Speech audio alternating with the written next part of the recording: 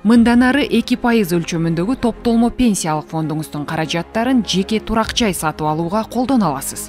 Тийиштүү мыйзамга президент садыр жапаров кол койду. Мыйзамда камсыздандырылган жарандар курулушчулардан курулуп жаткан же курулуп бүткөн үйлөрүнөн батирди сатып алууда баштапкы жана кошумча төгүм катары топтолмо пенсиялык фонддон пенсиялык төлөмдөрдү көп жолу пайдаланууга укуктуу деген ченем каралды.